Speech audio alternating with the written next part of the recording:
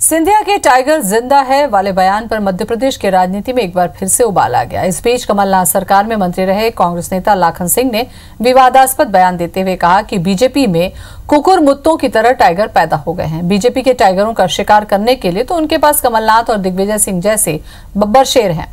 IBC 24 के संवाददाता से उन्होंने इस मुद्दे पर बातचीत की।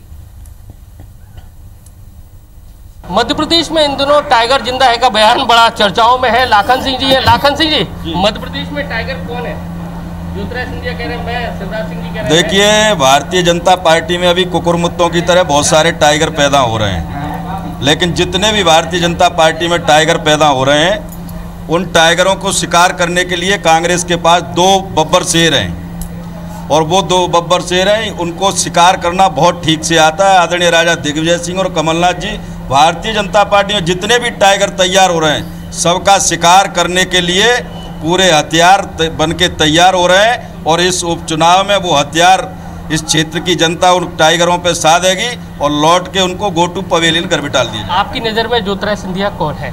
है? आपकी नज़र में भारतीय जनता पार्टी का अदनासा कार्यकर्ता। जी। दूसरा मंत्रिमंडल का जो विस्तार हुआ है उसको लेकर क्या कहना चाहेंगे? मंत्रिमंडल का विस्तार देखिए अभी मध्य प्रदेश में जो 24 सीटों पे जो उपचुनाव हो रहा है, उस उपचुनाव को दृष्टिगत रखते हुए ये मंत्रिमंडल का विस्तार किया है।